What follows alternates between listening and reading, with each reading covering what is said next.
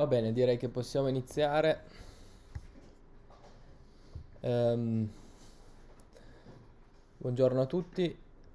Eh, oggi è la penultima volta insieme in questo corso, poi ovviamente ci vedremo agli esami. Ehm, quindi oggi affrontiamo l'ultimo argomento, l'ultimo blocco eh, di cui avevamo parlato all'inizio, che è la ricorsione in Python.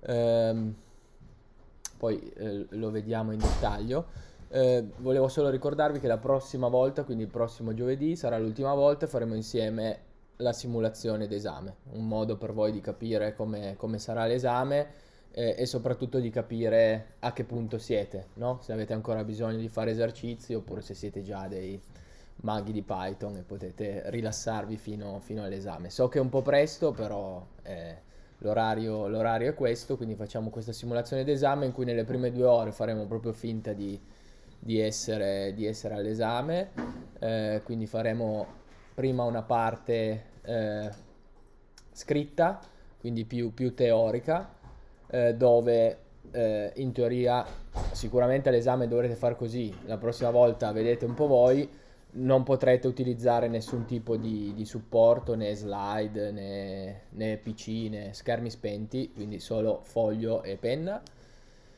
E questa la prova teorica dura eh, di solito 45 minuti e, ehm, e, dopo faremo la parte pratica al PC che dura di solito un'ora eh, in cui ci saranno una serie di esercizi di solito tre da eh, sviluppare eh, sul PC del laboratorio e poi consegnare. Proveremo anche la modalità di consegna che è semplicemente un upload sul sito, sul sito del corso.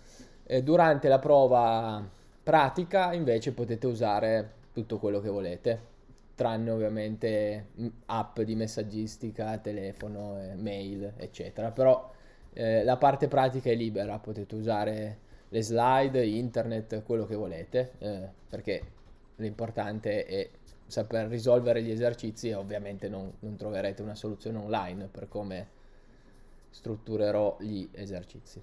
Ok? Domande su questo? manderò anche magari un messaggio, eh, soprattutto per chi non ha frequentato in presenza, di, di venire anche so, solo per provare i PC del laboratorio, le modalità di consegna, perché comunque credo sia, sia importante da non arrivare lì quel giorno e non sapere da che parte si è girati. Ok, se non ci sono domande direi che come al solito eh, vorrei vedere almeno qualche esercizio dello scorso laboratorio che concludeva la parte eh, più, più funzionale, ecco, anche se poi vedremo che la ricorsione è un ingrediente della programmazione funzionale. Uh, direi vediamo almeno i primi due che erano più, i più veloci, il terzo trovate una soluzione sul, sul sito del corso eh, ed era più lungo. Partiamo dal primo il primo chiedeva di eh, utilizzare la funzione map, che è una funzione predefinita di, di, ordine superiore, abbiamo visto che cosa significa nelle puntate precedenti, e le lambda expression per definire una nostra funzione, che qui ho chiamato map preconcat, ma poteva chiamarsi in qualunque modo, ehm, che prende due argomenti. Ehm, una stringa pre, chiamiamola così, e una lista di stringhe e noi volevamo ritornare la concatenazione di questa stringa che ho chiamato pre eh, messa davanti a tutte le altre stringhe presenti nella lista. L'esempio eh, chiarificava bene la consegna, quindi map preconcat dove passiamo come parametro la prestringa com e poi una lista di stringhe che contiene in questo caso eh, puter, pile, mute e il risultato ovviamente è una lista in cui questa prestringa com è attaccata all'inizio di tutte le, le parole nella lista, quindi computer, compile e commute. Ok? Allora, vediamo un po' come possiamo farlo. Apro REPL.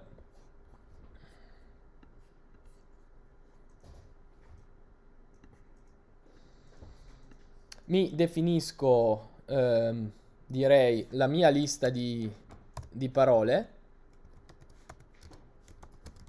parole troncate a cui vogliamo appendere poi la prestringa. Ovviamente quando il testo non, non lo specifica, non specifica che l'input va preso eh, dall'utente, noi possiamo direttamente definire l'input nel, nel codice del nostro programma, anche all'esame sarà così. Se trovate scritto l'input eh, l'utente inserisce, allora in quel caso usiamo la funzione input per prendere appunto l'input dall'utente, viceversa potete direttamente inserire le variabili e il contenuto di queste variabili all'interno del, del programma, come in questo caso. Quindi myList direi che possiamo definire una serie di tre parole, manteniamoci fedeli al, al testo, quindi computer file e mute. Ok poi abbiamo una prestringa. Anche qui la possiamo definire direttamente. In questo caso era com. Ok? Allora noi vorremmo avere una nostra funzione. Ripeto il nome è indifferente. Io l'ho chiamata map pre concat ma non è importante questo nome l'importante è che questa funzione utilizzi la, fun la funzione built-in map e le lambda expression per fornire il risultato che, che vogliamo quindi questa funzione sicuramente riceverà come parametri le due variabili che abbiamo appena definito, quindi pre e mylist, e al suo interno farà quello che deve fare giusto? Allora, che cosa eh, fa la map? A che cosa serve la funzione built-in map? La utilizziamo tutte le volte che vogliamo applicare una certa trasformazione ad ogni elemento di una sequenza in Python. E questa trasformazione che va applicata ad ogni elemento viene definita attraverso una funzione definiamo, scriviamo noi e quindi questa map prenderà questa funzione e la applicherà a tutti gli elementi di una data sequenza che passiamo come parametro a questa, a questa map. Ok? Quindi come primo la map accetta tendenzialmente due parametri, anche se poi in realtà ne può accettare anche di più, ma di solito la usiamo con due parametri, dove il primo parametro è la funzione che vogliamo applicare ad ogni elemento di una sequenza e il secondo parametro è la sequenza. Abbiamo visto la volta scorsa che come funzione possiamo passargli anche una funzione che definiamo noi, di solito è così, no? Quindi noi potremmo avere da qualche parte nel programma un'altra def che definisca una funzione per la nostra map, giusto? e qui facciamo qualcosa e poi come parametro della map noi passiamo la nostra funzione, funzione map. Ops, cosa ho fatto non lo so. Vediamo se riusciamo a tornare.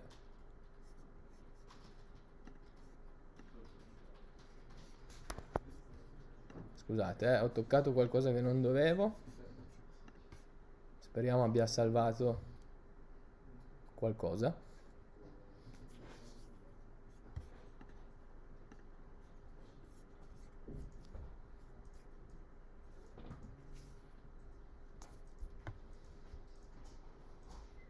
Ho incaricato tutto. Casomai lo facciamo in ok forse ci siamo sì. Eh, dicevo possiamo definirci la nostra funzione e poi passargliela alla map. Ovviamente vi ricordo questo è un errore che avete fatto in tanti la volta scorsa passiamo solo il nome della funzione senza parentesi di sorta, perché se mettiamo le parentesi qui, quelle tonde, vuol dire invocare la funzione subito. Invece qui noi vogliamo passargli il riferimento alla funzione, così che la map se la invochi lei al suo interno quando, quando gli serve. Ok? Tuttavia, eh, il testo dell'esercizio ci chiedeva esplicitamente di usare delle lambda expression, ok? Le lambda expression servono proprio in questi casi, quando noi abbiamo la necessità di definire delle funzioni come questa, che ora ovviamente è, è da fare, ma funzioni semplici eh, che ad esempio agiscono su un singolo elemento, lo trasformano e ne ritornano il risultato. Ok? Usare le lambda expression ci permette di evitare di definire esplicitamente questa funzione map, associandogli un nome, usando la def, eccetera. Facciamo tutto qui all'interno. D'accordo? Quindi cancello questo, avrebbe funzionato lo stesso avessi definito una mia funzione, ma l'esercizio ci chiede di farlo con le lambda expression e quindi posso direttamente definire la mia funzioncina qua dentro. Um, a destra della virgola invece ci sarà la sequenza. Partiamo da lì che è il parametro più facile, la sequenza ce l'abbiamo già e mylist ce la siamo passati come parametro e quindi a, a destra della virgola inserisco subito mylist. A sinistra invece torniamo alla nostra funzione. Per definirla con una lambda expression serve sempre la parolina chiave lambda. Ok? E poi avrò um, una variabile che ci identifica l'elemento singolo su cui vogliamo agire. Ok? Qui è una variabile, la possiamo chiamare come vogliamo, ad esempio x. Noi sappiamo che in quella variabile x in automatico, dobbiamo fidarci, la nostra funzione map ci va a mettere uno per volta i valori che trova in mylist, ok? Quindi x, la variabile, due punti, quello che vogliamo fare su quella variabile, d'accordo? La trasformazione che vogliamo applicare. In questo caso abbiamo detto vogliamo appendere ad ogni stringa presente in mylist la prestringa. E come faccio? Beh, è semplicemente una concatenazione di stringhe. Quindi pre più x. Quindi ripeto, la nostra funzione map in automatico andrà a prendere uno per volta gli elementi di mylist e li andrà a mettere in x. E noi per ognuno di questi elementi, per ognuno di queste stringhe qui, facciamo la nostra stringa pre più quella x, quindi concateniamo le due stringhe.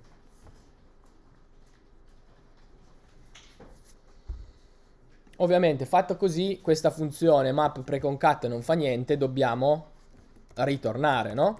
il risultato. Vi ricordo che la map costruisce una nuova struttura dati. Poi abbiamo visto anche l'altra volta che queste funzioni di ordine superiore eh, ritornano degli iteratori, giusto? Il concetto di iteratore è una struttura dati che ci permette di ehm, accedere ad un elemento per volta. Non viene allocata subito tutta la struttura dati, ma ci viene fornito un iteratore con cui tramite il metodo next possiamo recuperare un elemento per volta. Concetto di lazy eh, evaluation utile quando le strutture dati contengono tantissimi elementi. Evitiamo di dover allocare tutto in una sola volta milioni di elementi. Non è questo il caso, ne abbiamo tre, però Python funziona così. Quindi se vogliamo ottenere in un colpo solo tutta la struttura dati, ad esempio per stamparla, possiamo trasformare questo iteratore direttamente ad esempio in una lista con la funzione list che includa tutta la map. Qui va a capo, ma ok. Ci siamo? A questo punto posso invocare la mia map preconcat e farne quello che voglio. Eh, che ne so, potrei ad esempio avere una nuova variabile newList in cui mi salvo il risultato map preconcat cui passo eh, i miei due parametri in ordine, quindi pre e mylist e poi di questa new list ne, ne posso fare quello, quello che voglio, ad esempio stamparla.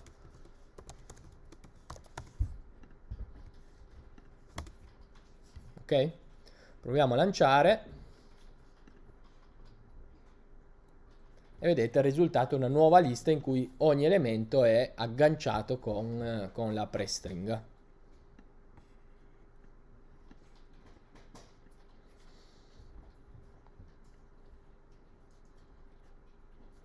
Domande su questo esercizio?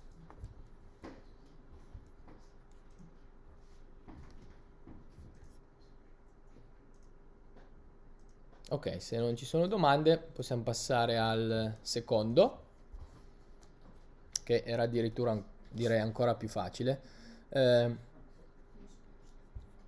ed era sulla funzione sorted.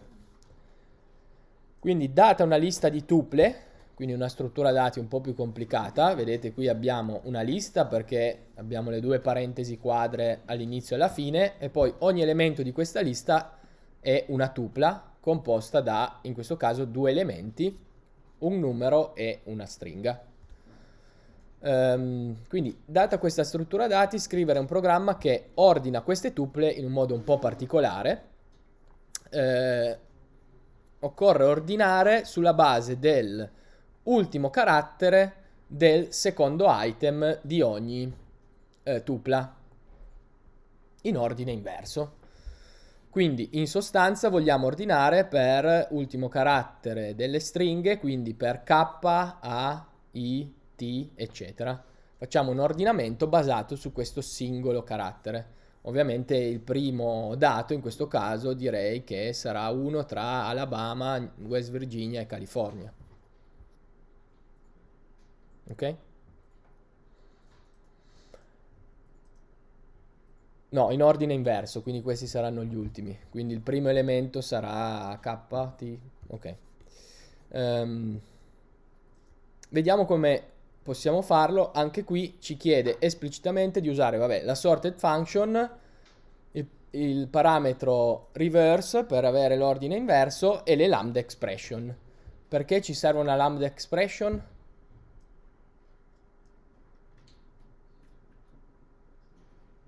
Cos'è che dobbiamo definire qui? Per, a che cosa ci serve una funzione in questo caso?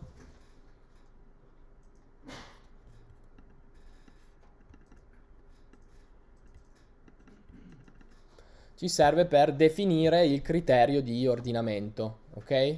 Dobbiamo in qualche modo dire a Python come fare, dato un elemento singolo, che la sorte è in grado di estrarre, dobbiamo in qualche modo dire a Python come fare andare a prendere il campo specifico, in questo caso un carattere, su cui effettuare l'ordinamento, altrimenti ovviamente Python non è in grado di farlo.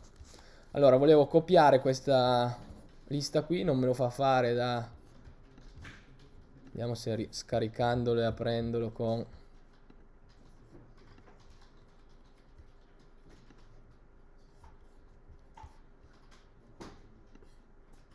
ok lo copio. E me lo inserisco nel mio programma. E ho la mia lista di, di tuple. Anche all'esame se c'è un esercizio in cui vi si dà già una struttura dati un po' più complicata messa lì nel testo potete semplicemente copiarla e incollarla nel vostro programma. Allora vogliamo ordinare questa, questa struttura dati con la funzione sorted. La funzione sorted prende, può, può prendere tre parametri. Il primo è la sequenza da ordinare, in questo caso è facile, è cities. Ok? Bene. Poi abbiamo L'ultimo parametro, ho messo due virgole lasciando uno spazio in mezzo per ora, l'ultimo parametro è il reverse. Con il parametro reverse, che ho sbagliato, ok, possiamo dire vero o falso se vogliamo l'ordine inverso, vero, oppure no, falso. In questo caso il testo ci chiede l'ordine inverso, mettiamo reverse uguale a true. Se non specifichiamo niente, questo parametro di default è falso, quindi l'ordine normale ascendente.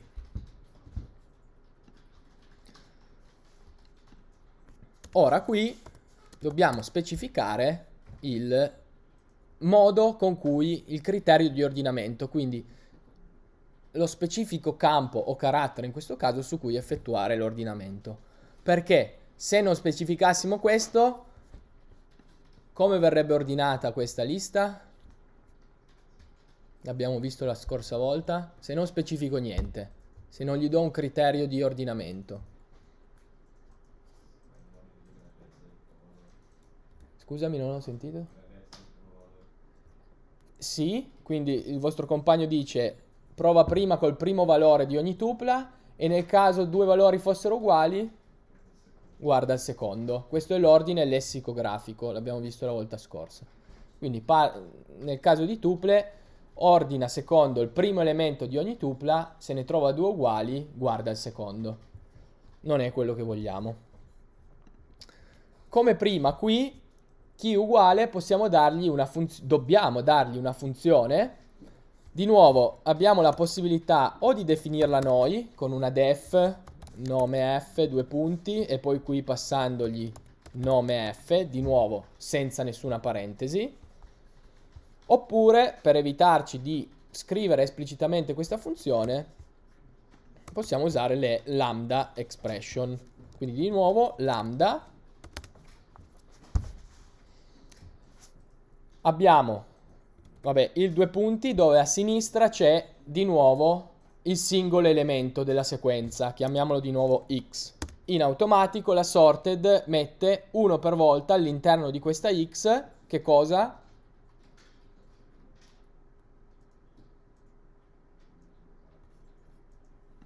Mette una tupla per volta, ok? Occhio, qui non siamo in presenza di elementi semplici come prima delle stringhe, ma qui ogni elemento è la tupla nel, nel suo complesso, ok? Quindi abbiamo 1, 2, 3, 4, 5, 6 tuple, 6 elementi in questa lista.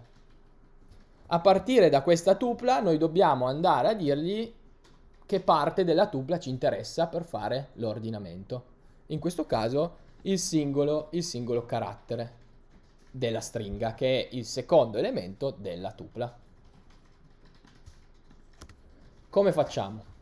Allora, dobbiamo agire a due livelli, cioè data una tupla, la prima cosa da fare direi è andare a recuperarci la stringa e poi dalla stringa passiamo al singolo carattere. Allora, per accedere alla stringa, la tupla ha due elementi, posizione 0 il numero, posizione 1, la stringa. E quindi posso dire x di 1. x di 1 ci identifica la stringa. Adesso da questa stringa dobbiamo passare al singolo carattere, quindi in questo caso l'ultimo. Come faccio? L'altra volta... Sì? Meno 1. Ok, vediamo perché. L'altra volta ho visto che tanti provavano a fare uno slice.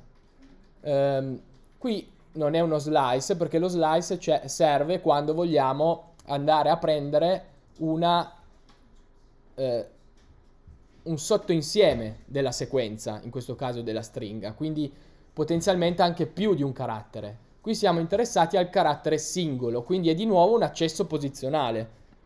Nello stesso modo in cui facciamo x di 1, per accedere a un elemento della tupla, faremo eh, sequenza di indice per accedere a un singolo carattere. Qui abbiamo due possibilità. O usiamo il meno 1, usando un indice negativo facciamo partire l'accesso posizionale dal fondo e veniamo indietro. Quindi meno 1 significa appunto l'ultimo elemento di una sequenza. D'accordo? Questo se vogliamo andare all'indietro. Se vogliamo usare l'accesso posizionale classico, quindi andando da sinistra verso destra, come potremmo fare? A che posizione è l'ultimo carattere di una, di una stringa in questo caso? La lunghezza della stringa meno... La lunghezza della stringa meno 1. Quello identifica indipendentemente dalla lunghezza la posizione dell'ultimo carattere. Quindi otteniamo meno 1 oppure diciamo lunghezza di stringa meno 1. Quindi len di, che cosa ci identifica la stringa qui? x di 1. x di 1, perfetto. Len di x di 1 meno 1. Eh, no, scusate, ho sbagliato. Ovviamente il meno 1 sta fuori dalla parentesi tonda. Quindi calcoliamo prima la len e poi facciamo meno 1. tutte e due le soluzioni sono valide. L'ultima cosa da notare è che, come detto la volta scorsa, la sorted non modifica direttamente la struttura dati, la sequenza che passiamo alla funzione, eh, quindi cities continua ad essere così come l'abbiamo definita, ma sorted costruisce una nuova struttura dati e ce la ritorna. E quindi io devo in qualche modo recuperarmela salvandola ad esempio in una variabile. Ordered cities uguale sorted e poi di questa ordered city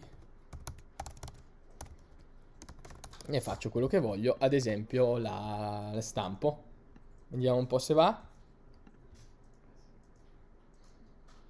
Direi di sì. Il primo elemento è Vermont, il secondo, quindi la T, il secondo è New York, la K, Hawaii, la I, e poi abbiamo le 3A. Alabama, West Virginia e California. Come vedete,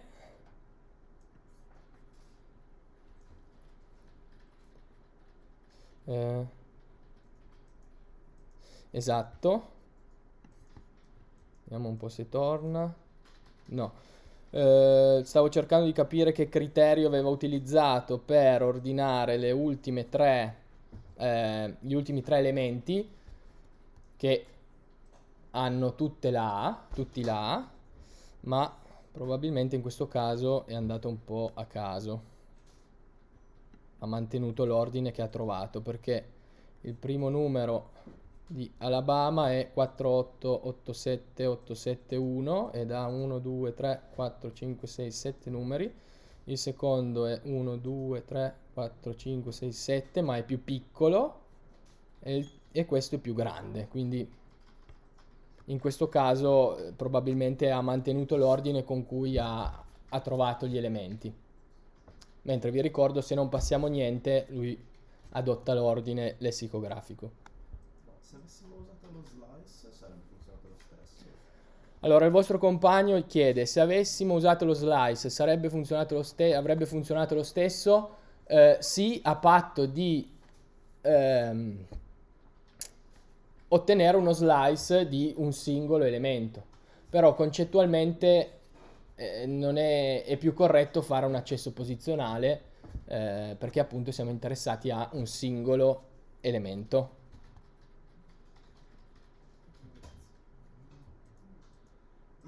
Ovviamente nulla vieta di ordinare questi elementi sulla base, ad esempio, degli ultimi due caratteri della stringa.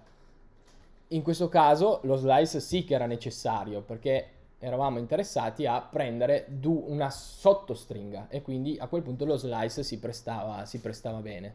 In questo caso un solo carattere, quindi è meglio l'accesso posizionale.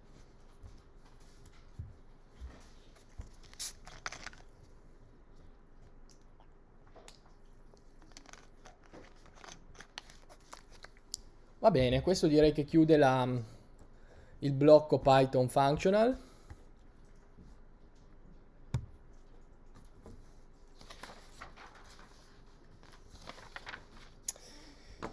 e partiamo con la parte eh, ricorsiva. Ok.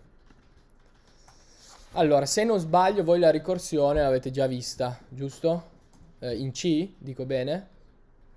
Quindi in teoria siete già esperti di ricorsione? O... Vabbè, vediamo come, come va oggi. Credo di riuscire a complicarvi un po' le cose credo di riuscire a mostrarvi alcuni esercizi più complicati di quelli che avete fatto, ma in ogni caso la ricorsione in generale è uno degli argomenti più ostici, direi, della, dell'informatica in generale, no? Perché richiede proprio un cambiamento di, di mentalità. Ehm, quindi non fa male anche rivederla una, un'altra volta con un nuovo linguaggio, con un nuovo docente che magari ve la spiega in modo diverso e, e se non l'avete ancora capita speriamo che questa sia, sia la volta buona. Quindi vediamo come scrivere programmi ricorsivi in, in Python. E innanzitutto partiamo dal perché eh, vogliamo affrontare questo, questo argomento. Eh, sicuramente perché la ricorsione è eh, un modo di programmare in modo funzionale e vedremo dopo perché. Um, e ci permette soprattutto di adottare un approccio che possiamo chiamare di dividi e impera, no? Quindi ci permette di dividere un problema complicato che non sapremmo risolvere così eh, al volo, di dividerlo in tanti piccoli pezzi che invece sono più facilmente risolvibili. Ok? Um, si può usare in, per molti casi d'uso la ricorsione e uno di questi casi d'uso che vedremo è eh, l'esplorazione sistematica di un insieme di soluzioni. Eh, vedremo dopo un esercizio che è il calcolo degli anagrammi. Ad esempio, per calcolare gli anagrammi noi vogliamo mischiare le lettere di una parola e andare a sistematicamente esplorare tutte le possibilità che abbiamo nel mischiare queste, queste lettere. Farlo a mano è complicato, farlo in modo iterativo, diciamo così, con i for è complicato, con la ricorsione vedremo che riusciamo a risolvere il problema in tanti piccoli sottoproblemi che poi combinati ci danno un insieme di tutte le possibili alternative per trovare questi anagrammi. L'altro motivo per cui si può usare le eh, la programmazione ricorsiva, soprattutto nella programmazione funzionale, è per gestire quelle strutture dati che sono eh, di natura ricorsive, tipo gli alberi e i grafi. Quindi la ricorsione si presta molto bene in questi, in questi casi. La usiamo nella programmazione funzionale perché uno ci permette di evitare di eh, alterare lo stato di variabili o strutture dati all'interno di un algoritmo, ok? Ehm, e quindi ci mettiamo al riparo da problemi eh, tipo usiamo delle variabili in un ciclo eh, e poi le modifichiamo da un'altra parte nel nostro programma. E soprattutto anche tramite eh, la ricorsione noi specifichiamo più eh, che cosa vogliamo ottenere più che come.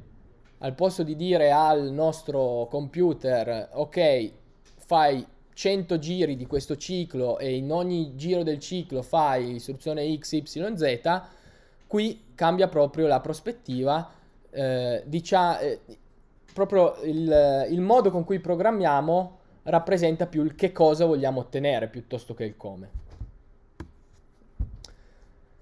Quindi che cosa definisce una procedura o una funzione ricorsiva? Beh, è abbastanza intuitivo, una procedura o una funzione definita ricorsiva quando all'interno della sua definizione abbiamo una chiamata alla stessa funzione o procedura ricorsiva. Ok? Quindi tendenzialmente abbiamo una def funzione A, due punti, e all'interno del corpo di questa funzione abbiamo una chiamata alla funzione A stessa, quindi una funzione che chiama se stessa. Questo è il caso più semplice, la chiamata diretta. Potremmo anche avere però delle chiamate indirette, ad esempio funzione A che richiama una funzione B, la funzione B richiama a sua volta la funzione A. Ok? Quindi la funzione A è sempre ricorsiva ma ha un passaggio in più, però è comunque una funzione che richiama se stessa. Quindi direttamente o indirettamente una funzione ricorsiva richiama se stessa. E ovviamente un algoritmo è detto ricorsivo quando è basato su funzioni ricorsive, ma questo mi sembra abbastanza ovvio. Che cosa significa questo? Che la funzione continuerà a chiamare se stessa e a ripetere il proprio comportamento. Fino a quando? E questa è la domanda eh, fondamentale della ricorsione cioè dobbiamo sempre avere all'interno di una funzione ricorsiva eh, una condizione di terminazione. Prima o poi questa ricorsione deve finire, altrimenti andiamo incontro al classico errore dei programmi ricorsivi, lo lancio e il programma va in palla e non termina più, perché è entrato in un loop infinito, chiama se stesso all'infinito, quindi dobbiamo sempre avere una condizione di eh, terminazione e vedremo dopo che cosa significa. ehm, dietro la scena, diciamo così, ogni chiamata ricorsiva aggiunge eh, nello stack il suo contesto di esecuzione, cioè ogni chiamata ricorsiva avrà le proprie variabili, i propri dati, il proprio contesto, eh, che viene aggiunto allo stack. Fino a quando raggiungiamo la condizione di terminazione, quando la raggiungiamo le varie chiamate ritornano, ok? E questo stack si srotola all'indietro. Alcuni problemi. Innanzitutto possiamo dire che Python è molto lento quando si tratta di programmi ricorsivi, proprio perché ha eh, una grandezza dello stack limitato. Quindi ogni funzione aggiunge il proprio contesto di esecuzione allo stack, purtroppo in Python la dimensione di questo stack è, è limitata. Si può eh, incrementare modificando qualche parametro, però no, non cambia molto la situazione. Ehm, e soprattutto, ora non, non, riusciamo ad andare nei dettagli, rispetto ad altri eh, linguaggi di programmazione, Python...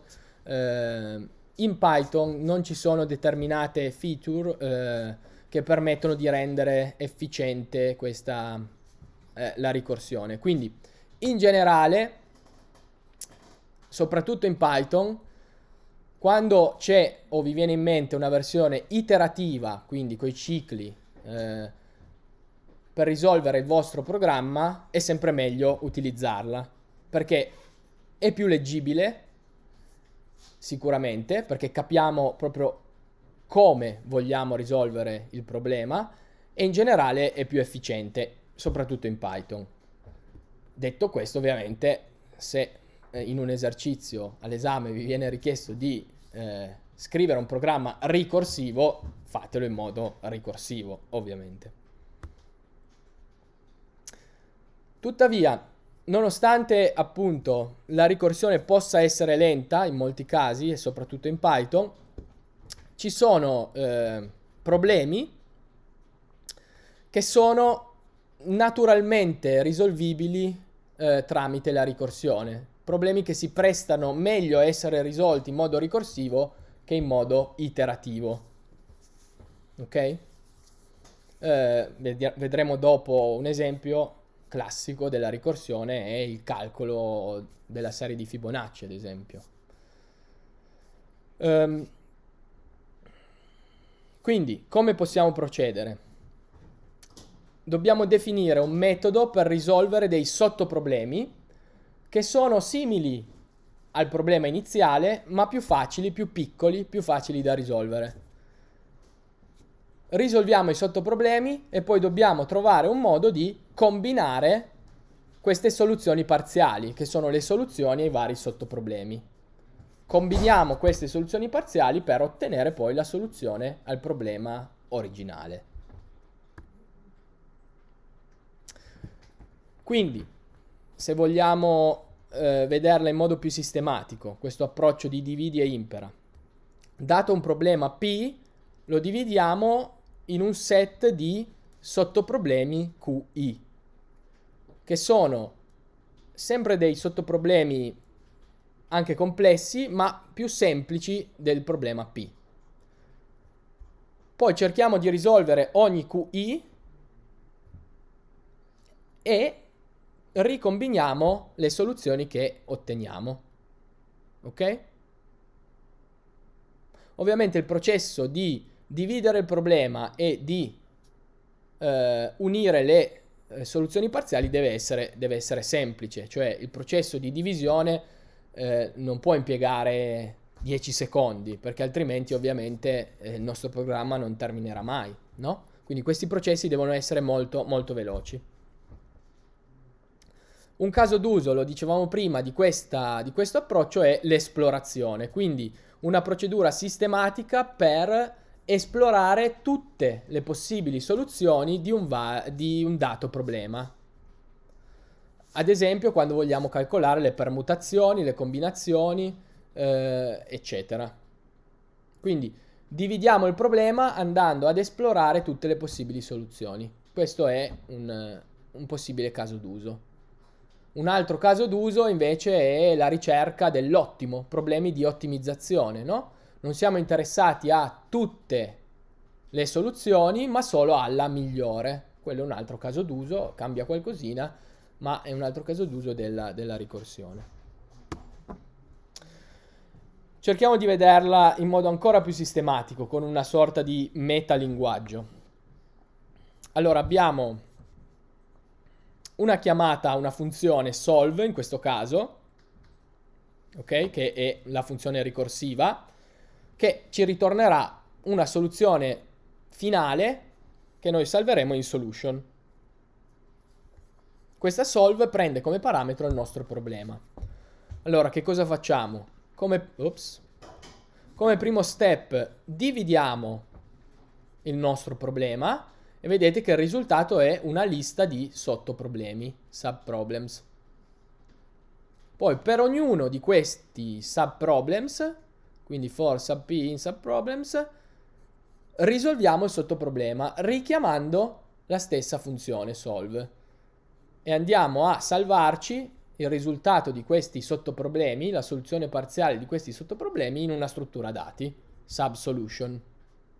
Ovviamente qui richiamo solve con un sottoproblema, nulla mi vieta poi di dividere a mia volta il sottoproblema in altri sottoproblemi, ovviamente alla fine di tutto avrò la combinazione, combine, dei vari, delle varie soluzioni parziali che mi ero salvato in subsolution e ritornerò la soluzione finale. Questo può essere una sorta di schemino. Qual è il problema che vediamo qui e che cerchiamo di risolvere nelle prossime slide? È che, come vi ho detto, nulla mi vieta di avere più step, cioè di avere il mio problema, lo divido in sottoproblemi. Poi ogni sottoproblema continuo a dividerlo. Giusto? Potenzialmente. Fino a quando? E questa è sempre la domanda chiave. Qui quello che manca è un po' la condizione di terminazione, cioè quando smetto di dividere il mio problema? Questo è quello che abbiamo detto. Infatti, la ricorsione non deve essere ovviamente infinita, perché ogni algoritmo deve ovviamente terminare. Quindi dopo un, uh, un numero sufficiente di livelli, cioè di divisione dei problemi, i sottoproblemi, che abbiamo chiamato subproblems, diventano veramente piccoli, facili da risolvere. Ok? Quindi risolvibili ad esempio con eh, una semplice return o una semplice addizione, con metodi diversi dalla ricorsione. Ok, quando arriviamo a quel momento è il momento di fermarsi. Quindi quando raggiungiamo quella condizione lì dove i problemi sono facilissimi da risolvere, è il momento di uscire da questo ciclo for, smetterla di chiamare solve e cercare di ricombinare le varie soluzioni. Quindi ricordarsi sempre la, ter- eh, la condizione di terminazione per assicurarci che, scusate ho detto male, per andare ad identificare eh, i sottoproblemi facili da risolvere, cioè quando individuiamo che i sottoproblemi sono diventati piccolissimi, facili da risolvere, lì è il momento della condizione di terminazione, quindi è il momento di stoppare la, la ricorsione. Quindi questo migliora eh, lo schemino che abbiamo visto prima. Vedete che oltre al, allo schemino di prima abbiamo una if importantissima all'inizio della, eh, della nostra eh, funzione. Quindi prima di dividere i nostri problemi, ancora una volta, ci chiediamo se il problema è facile da risolvere, risolviamolo. Ok? Altrimenti, importantissima questa else, facciamo quello che facevamo prima, quindi continuiamo a dividere il problema e far andare avanti la ricorsione, perché non siamo ancora in grado di risolvere i sottoproblemi in modo facile. Però vedete questa else se raggiungiamo la condizione di terminazione, questa else fa sì che non venga più portata avanti la ricorsione. Mi sembra chiaro, no? Perché se entriamo qua dentro, ovviamente non entriamo più nella else. E quindi in questo caso eseguiamo la return solution senza procedere. Quindi lo schemino può essere check della condizione ter- di terminazione, altrimenti faccio ricorsione.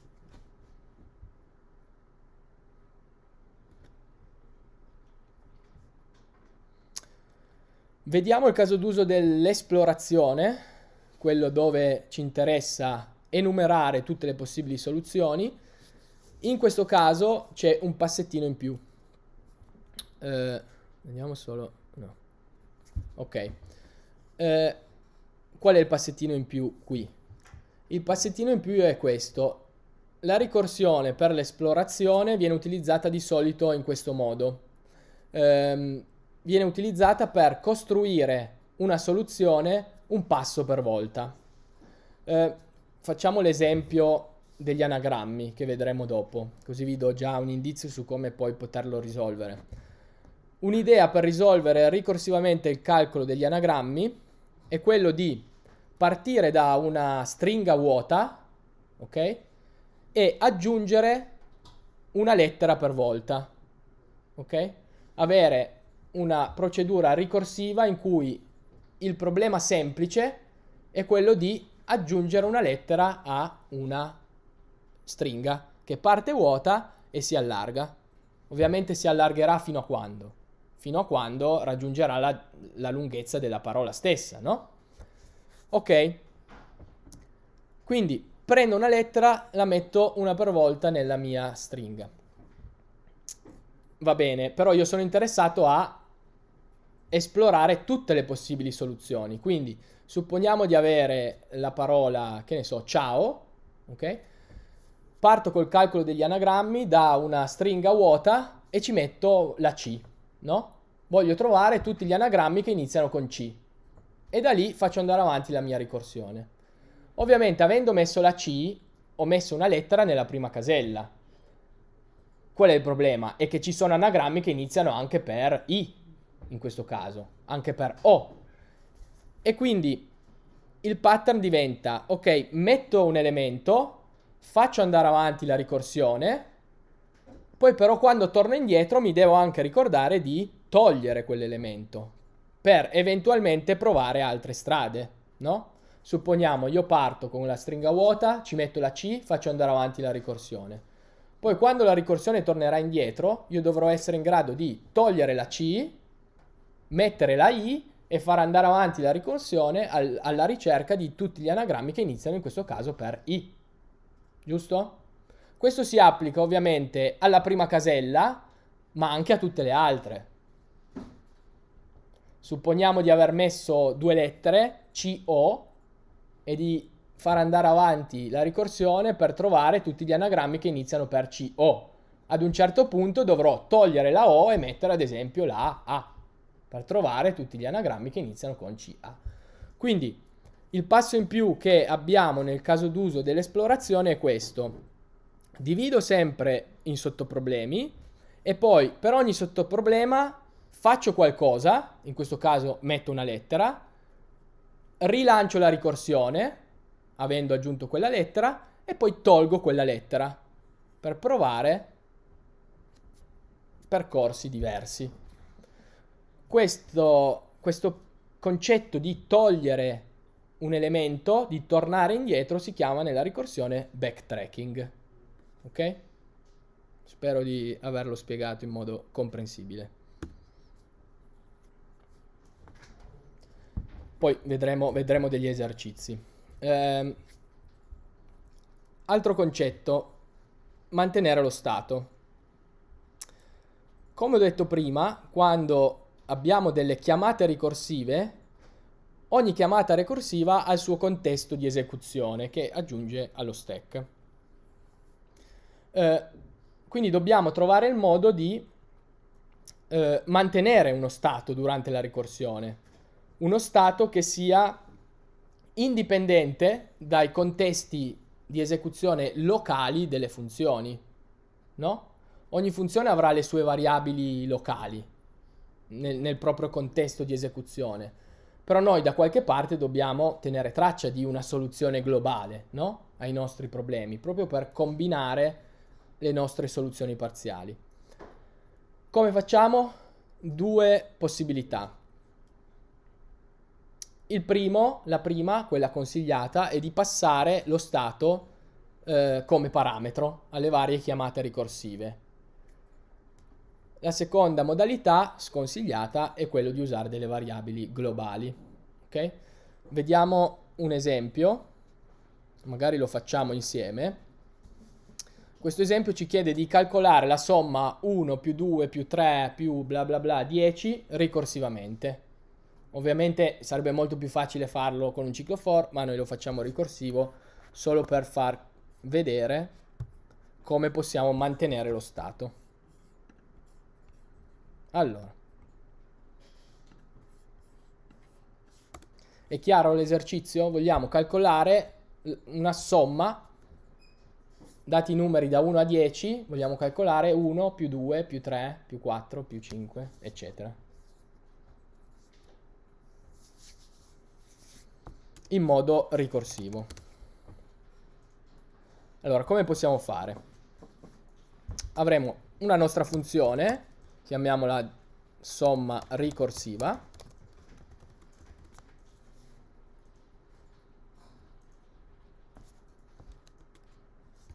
E poi avremo, direi, eh, due variabili. Una variabile che ci tiene traccia di, di questa somma, anche qui l'idea può essere quella che vi ho raccontato prima degli anagrammi. Una variabile che parte da 0 e mano a mano incrementiamo a seconda del numero che stiamo analizzando. Ok? Quindi partirà da 0, poi ci aggiungeremo 1, eccetera eh, e quindi chiamiamola somma cumulativa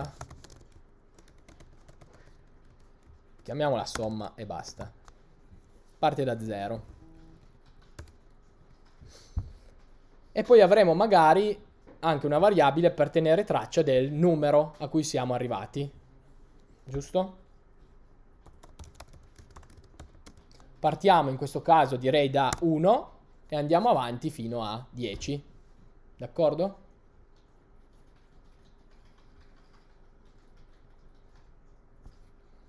Vi faccio notare che qui sto utilizzando l'approccio con le variabili globali. Ok, all'interno della mia funzione, che cosa farò?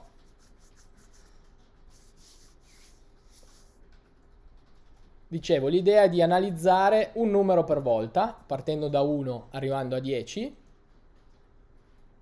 ogni volta aggiungere questo numero alla mia somma e richiamare la funzione somma ricorsiva.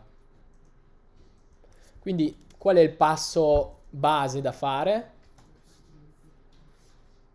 Potrebbe essere quello di dire, ok, aggiungo il mio numero a cui sono arrivato a somma, quindi dico somma più uguale numero, giusto? Poi incremento il mio numero numero più uguale 1 e richiamo la funzione ricorsiva, no?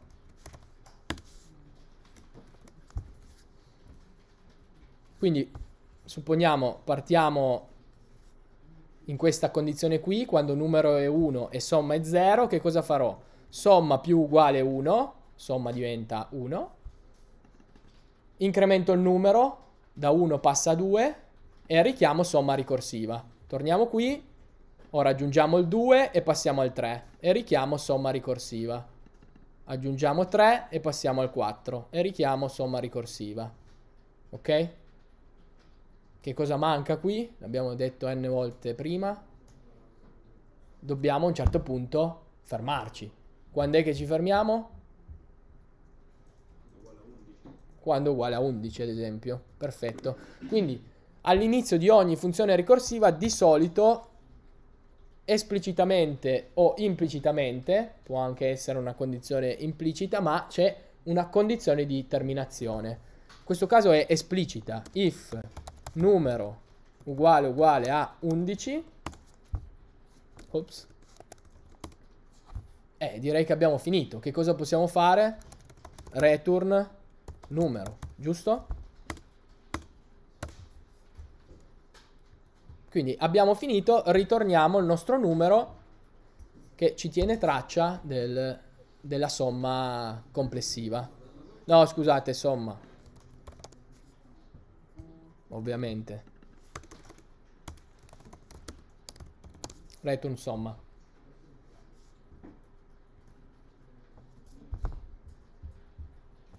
Altrimenti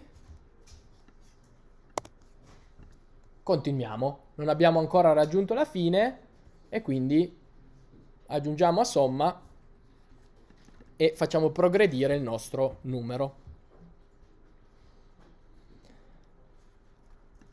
Adesso vedete che eh, REPL mi eh, segnala come errore queste due linee.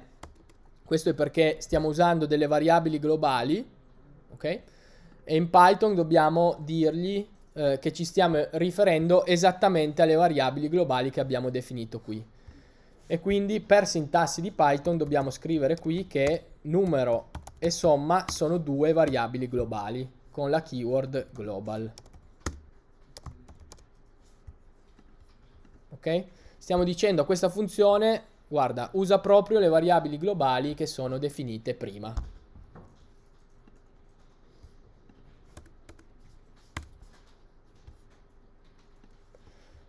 Ma di nuovo, questa è una soluzione sconsigliata, quindi se usate global all'interno dei vostri programmi vuol dire che c'è, qualcosa che non va. Allora, ho lanciato il mio, il mio programma, forse. Ah no, ok. Sì, non fa niente perché non ho stampato niente, ovviamente. Non ho neanche richiamato questa funzione. Quindi qui l'abbiamo definita, def, e poi nel mio programma principale la vado a richiamare, ad esempio, stampandone, stampandone il risultato direttamente. Proviamo un po'. Eh, no. Che cosa ho di... A me non stampa niente, quindi più o meno siamo nella stessa situazione. Che cosa ho dimenticato?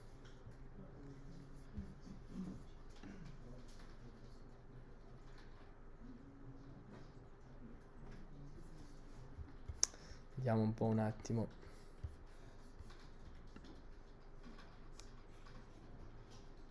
Ah, certo, sì. Ho dimenticato una, una return in questo caso. Perché ovviamente noi vogliamo sempre ritornare il nostro, il nostro risultato. Altrimenti richiamando esclusivamente la funzione, ok? Eh, noi non, non passiamo mai all'indietro il valore a cui siamo arrivati è un caso un po' particolare. Comunque, funziona. Vedete, ci ha calcolato la, la somma ricorsiva. Adesso, come possiamo fare a risolvere il problema di utilizzare variabili globali che nella programmazione funzionale è sempre sconsigliato? Perché qualcuno, ad esempio, dall'esterno potrebbe sporcare queste due variabili. Abbiamo detto l'alternativa è passare, passare questi parametri, eh, passare lo stato come, come parametro. E quindi al posto di avere queste variabili globali, io predispongo la mia funzione ricorsiva per ricevere eh, questi, questi, due valori. Quindi numero, virgola, somma. A questo punto questo sparisce, le due variabili globali spariscono anche queste due righe di codice.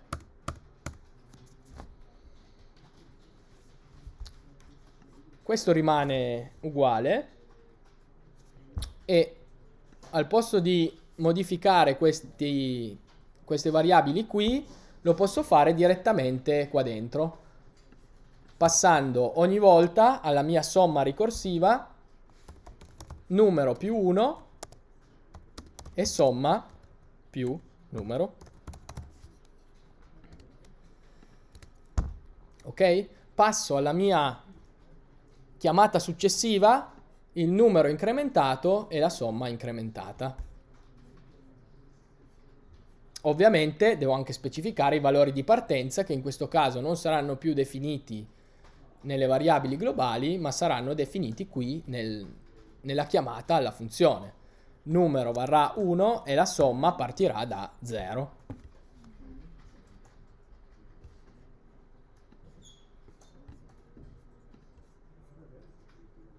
Il risultato è lo stesso, ma eh, è meglio dal punto di vista del codice, soprattutto in ottica programmazione funzionale.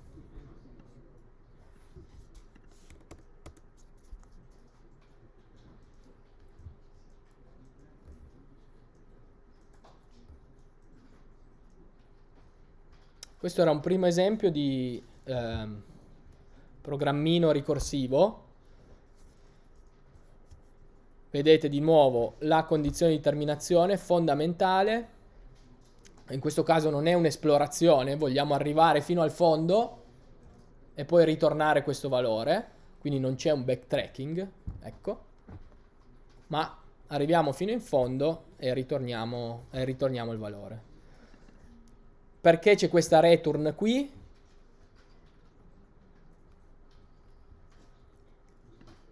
Perché non basta chiamare solo somma ricorsiva per questo motivo, cerco di spiegarlo meglio. Ok, noi arriviamo, chiamiamo queste funzioni ricorsive, no? Partiamo da 0, andiamo avanti, continuiamo a chiamare somma ricorsiva, somma ricorsiva, somma ricorsiva, incrementando il nostro numero, finché arriviamo al fondo, alla nostra condizione di terminazione, dove somma vale 55. A questo punto che cosa succede? Questa funzione ritorna 55, ma prima di questa funzione, nello stack, ci sono tutte le chiamate che abbiamo fatto per raggiungere quel punto lì, no? Noi abbiamo fatto incrementare lo stack, chiamata, chiamata, chiamata, chiamata, chiamata, siamo arrivati al fondo, adesso dobbiamo srotolare questo stack, quindi dal fondo dobbiamo ritornare il mio 55 fin su, fino al chiamante. Questo è il motivo per cui c'è una mia return 55 al fondo, ma poi tornando indietro io devo ritornare questo 55 fino a chi mi ha chiamato, ok? E questo è il motivo per cui serve anche una return qui. Questa return qui serve un po' da passacarte. Quando abbiamo raggiunto il fondo, questo 55 qui risale tra le varie chiamate e viene ritornato al programma principale. Quindi andiamo giù fino in fondo, fino alla condizione di terminazione e poi questo 55 lo facciamo salire con queste return qua, il cui obiettivo è proprio di ritornare il mio valore alla prima chiamata che c'è stata, che è questa qua. Se noi non mettiamo questa return, il nostro valore 55 che ritorniamo lì al fondo si perde perché non riesce a risalire su, non viene ritornato. E questo è il motivo per cui se non metto la return lì, mi stampa assenza di valore. Perché ho perso il mio, il mio risultato.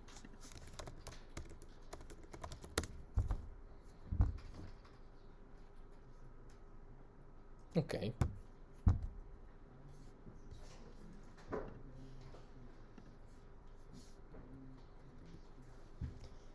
Domande fino a qua?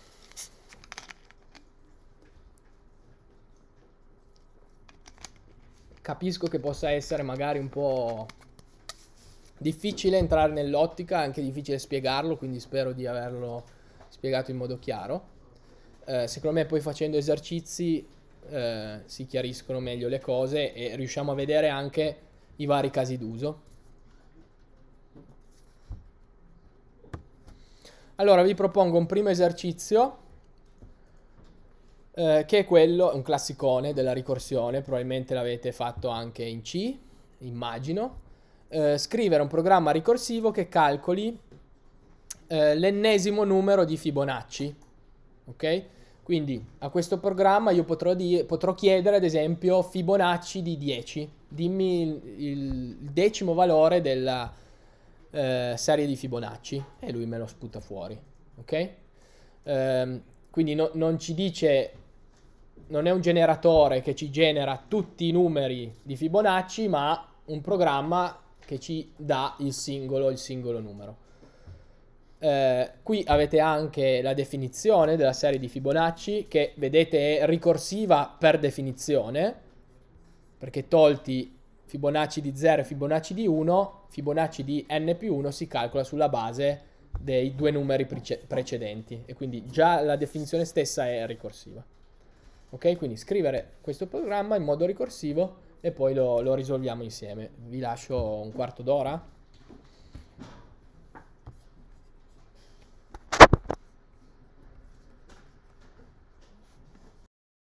Allora, proviamo un po' a, a risolverlo insieme. Ho visto che la maggior parte di voi ce l'ha fatta, quindi bene, vuol dire che vi ricordate abbastanza eh, la, la, ricorsione.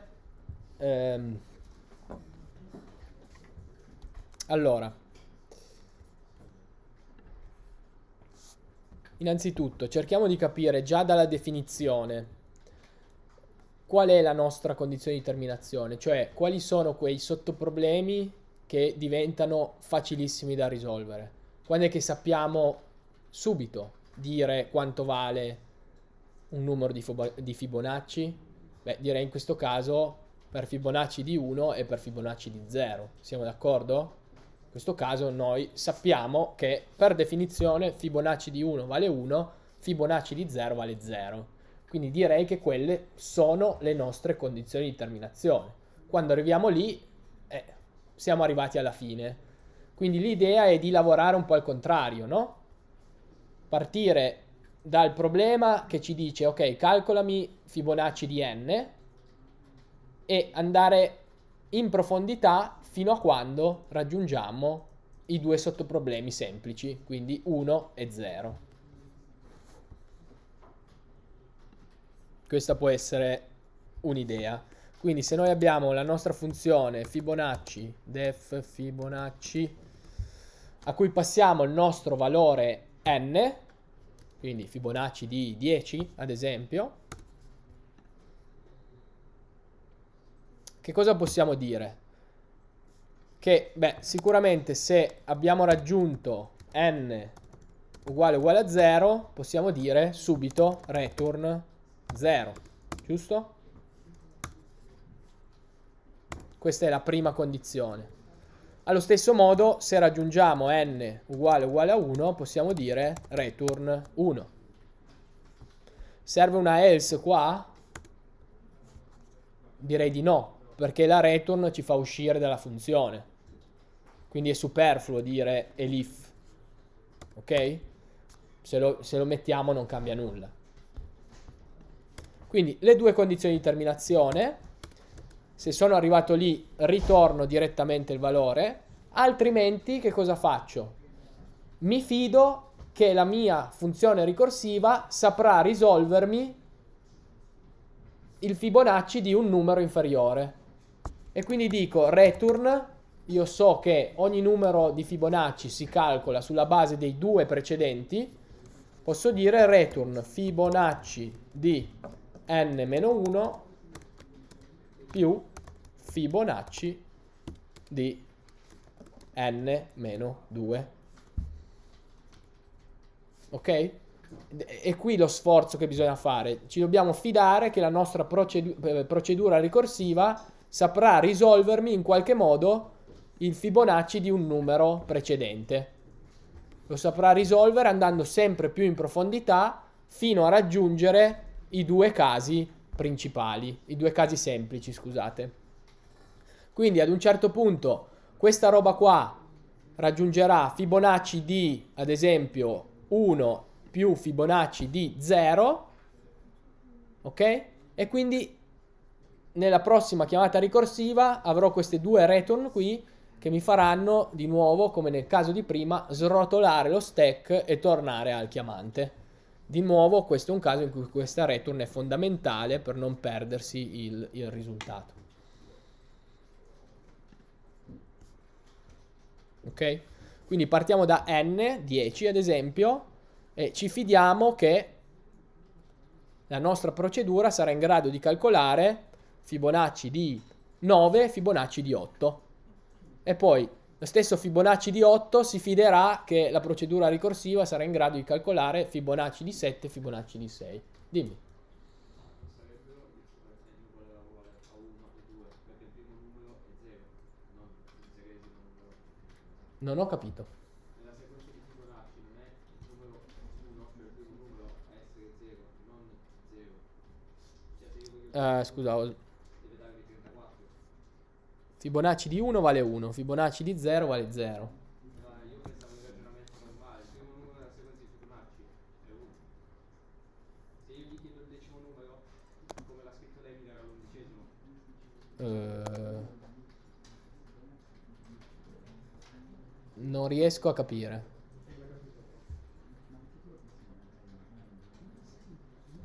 Fibonacci di 0 per definizione, questa è la definizione, no?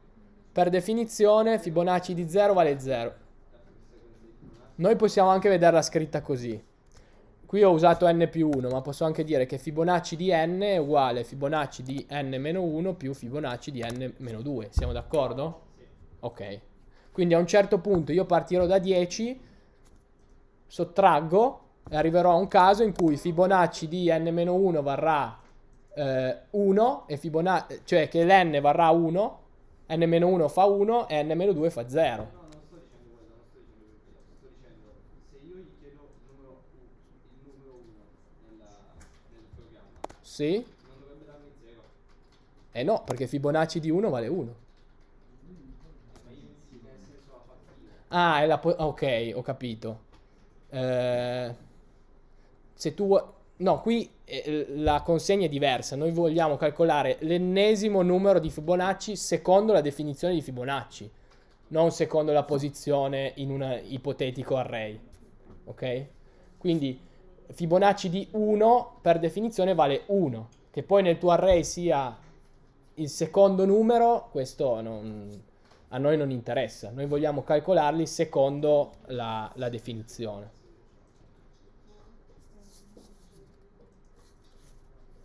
Ok? Allora proviamo un po' a richiamare questa funzione. Print Fibonacci di, che ne so, 5.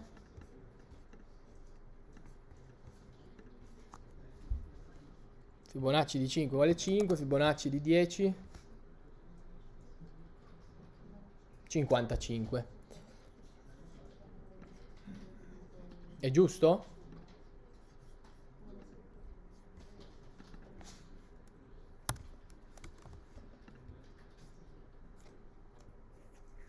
Sì, direi di sì. Fibonacci di 0 vale 0, Fibonacci di 1 vale 1. Allora, non so se qualcuno di voi ha provato a usare dei numeri più grandi qui. Qualcuno ci ha provato? Proviamo un po' a dire Fibonacci di 50, ad esempio. Eh, Fibonacci di 50, come vedete, posso stare qui anche un bel po', ma eh, sembra che il mio programma non, non giunga a terminazione. Ok? Vedete? Il programma sta, sta ancora girando, ma non riesce a produrmi un, un risultato. Ok? Perché questo? Allora, in questo corso non abbiamo modo di andare nel dettaglio della complessità dei vari algoritmi. Abbiamo detto sicuramente la ricorsione in Python è lenta di natura. Aggiungiamoci pure che qui stiamo lavorando su un tool online che è sicuramente più lento di un programma sul, sul nostro PC in- che lavora in locale. Su questo credo siamo tutti d'accordo. Ma non sono questi i due motivi principali per cui, ad esempio, Fibonacci di 50 non, non giunge a, a conclusione. Qualcuno di voi, senza guardare le slide ovviamente, sa intuire perché questo programma diventa molto lento quando andiamo a incrementare il numero? È lento anche per numeri piccoli, ma non ce ne accorgiamo.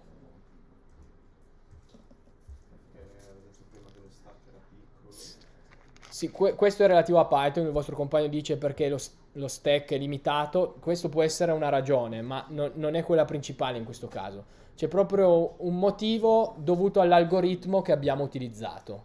Sarebbe lento anche in C, ok? Magari un po' più veloce di questo, ma comunque lento.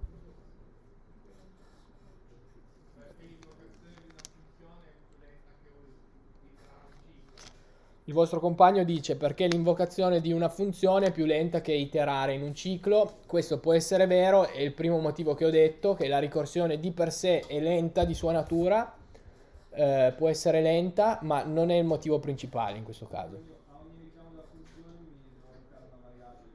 Ad ogni richiamo della funzione devo allocare delle variabili, Mm, vabbè, sì, può essere, ma di nuovo non è questo il motivo principale non è neanche lo stack.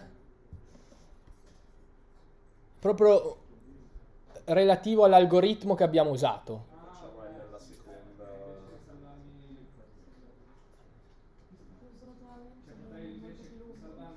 Mm?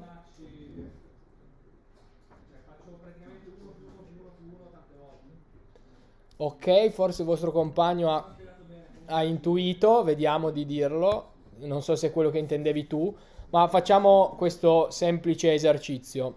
Supponiamo di dover calcolare Fibonacci di 5, no? Che cosa succede? Parto da 5, dovrò calcolarmi Fibonacci di 3 e Fibonacci di 4, giusto? I due numeri pre- precedenti. Esatto.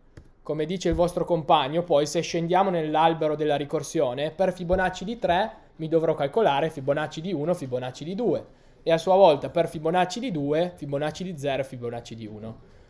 Questa cosa va ripetuta ovviamente anche dall'altro lato di questo grafo, anche per Fibonacci di 4, no? Dovrò fare lo stesso lavoro. Come potete vedere, nel nostro grafo che ci rappresenta tutte le chiamate ricorsive che facciamo quando calcoliamo Fibonacci di 5, ci sono ampie parti di questo grafo che sono replicate, no? Questo sottoalbero qua, è un albero più che un grafo, questo sottoalbero qua, Fibonacci di 3, è lo stesso di questo qua, giusto? Quindi calcoliamo più volte delle cose che potremmo calcolare una volta sola. Quindi questo ci fa capire che non lo facciamo, se volete potete provare a farlo a casa. Questo algoritmo è ampiamente migliorabile. Possiamo fare un algoritmo sempre ricorsivo, ma molto più efficiente, evitando di calcolare più volte una cosa che abbiamo calcolato già in precedenza, ok? Se noi già solo riuscissimo a non calcolare due volte Fibonacci di 3, vedete quante chiamate ricorsive risparmieremmo. Ovviamente più il numero n di partenza cresce, più le parti in comune saranno tante e quindi più volte ripeteremo eh, cose che abbiamo già fatto. E ovviamente questo incide sulla, sulle performance di questo, di questo algoritmo. Ok? Ripeto, non abbiamo modo in questo corso di andare nei dettagli della complessità di un algoritmo eh, e in sede d'esame se vi trovate davanti a un esercizio che vi chiede di sviluppare un algoritmo ricorsivo non state lì a pensare alla complessità dell'algoritmo e se potrebbe essere migliorato eccetera non, non andiamo in quel dettaglio lì però è, è bene saperlo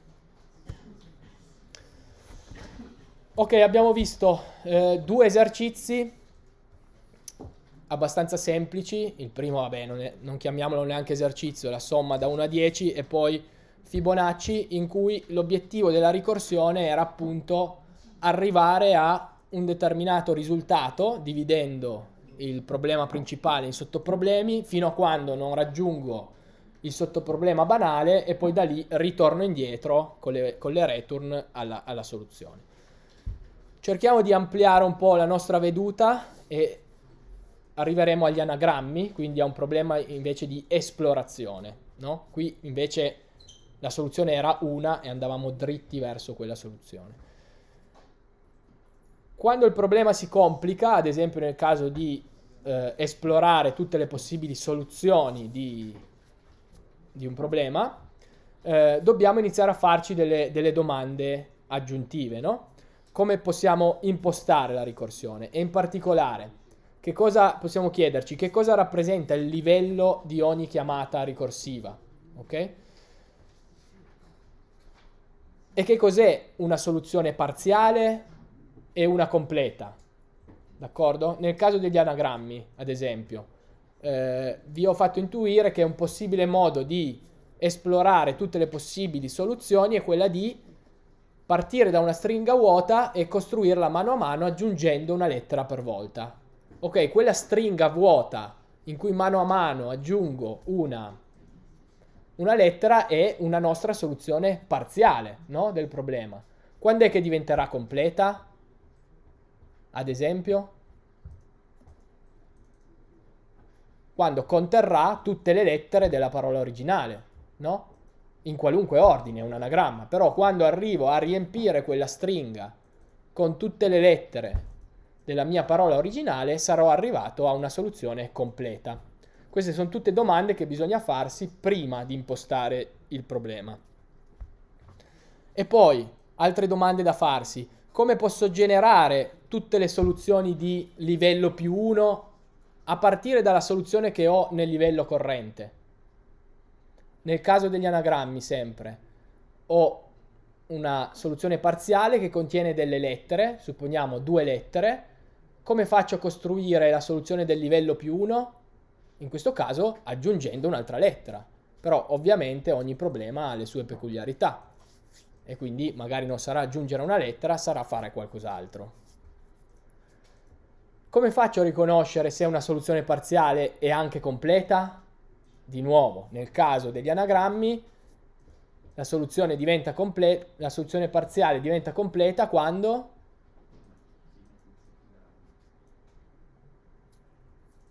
ad esempio la sua lunghezza è uguale a quella della parola originaria, giusto? Se le due lunghezze coincidono vuol dire che ho inserito tutte le lettere, ad esempio. Non so se mi sono spiegato.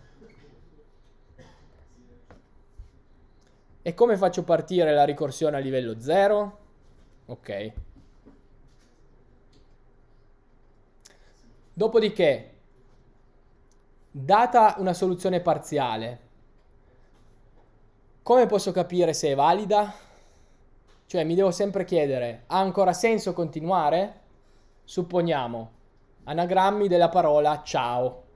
Partiamo dalla stringa vuota, ci aggiungo boh, la C nella prima casella e richiamo la ricorsione. Nella chiamata successiva ha senso riaggiungere la C? No, perché di C ce n'è, so- ce n'è solo una nella parola originale. Quindi una soluzione parziale ipotetica data da CC è sicuramente non valida. Non ha senso continuare con quella soluzione lì. Quindi dobbiamo anche riuscire a capire quando una soluzione parziale è valida oppure no e se ha senso continuare oppure no. Poi ci sono diversi, diversi approcci. Potremmo pensare di costruire solo soluzioni valide ad esempio, la C so che l'ho già inserita, non la inserisco più. Oppure potremmo dire no, arriviamo comunque fino in fondo e solo al fondo controllo se è valida oppure no. E se è valida me la tengo, se non è valida la scarto. Questa è un'altra possibile soluzione. E poi l'ultima cosa, che cosa devo fare quando raggiungo una soluzione completa? Nel caso degli anagrammi direi che me la metto da parte, perché? Perché a me interessano tutte le soluzioni, giusto? Nel caso invece, ad esempio, di un algoritmo per un sistema di navigazione dove devo trovare il miglior percorso dalla città A alla città B, in quel caso non mi servono tutte le soluzioni, ma solo la migliore, ad esempio la più corta. A quel punto io potrei esplorare tutte le varie strade che portano dalla città A alla città B ma alla fine il mio output deve essere solo quella migliore che ho visto durante la mia esplorazione. Quindi dipende dal problema. E poi ovviamente devo anche capire che strutture dati utilizzare. Nel caso degli anagrammi stiamo parlando di stringhe e credo che ce la possiamo cavare con delle stringhe, al massimo con delle liste di caratteri. Se parliamo di percorsi su una mappa, e allora lì le cose si complicano, devo però capire che tipo di strutture dati posso e devo utilizzare. Tutto questo per raggiungere questo schema che è forse il più completo che vediamo, che vediamo oggi, eh, questo schema di un programma ricorsivo, dove ovviamente ogni pezzo può esserci o non può esserci a seconda del tipo di problema. Quindi una funzione ricorsiva può avere qualche operazione che deve essere eseguita sempre, a prescindere dal livello a cui siamo arrivati, può esserci, non può esserci. La condizione di terminazione, quella direi che c'è sempre, in modo esplicito o implicito, però comunque ci deve essere. Quindi se termino, magari faccio qualcosa, ad esempio, negli anagrammi, se termino vuol dire, ok, ho costruito un anagramma, me lo metto da parte, lo aggiungo ad esempio ad una lista. Nel caso di percorsi su una mappa dove voglio trovare il più corto, ok, ho trovato un percorso, magari non lo metto da parte, ma guardo se è il migliore che ho visto fino a quel momento. Se è il migliore, lo tengo. Se non è il migliore, lo scarto. Dipende.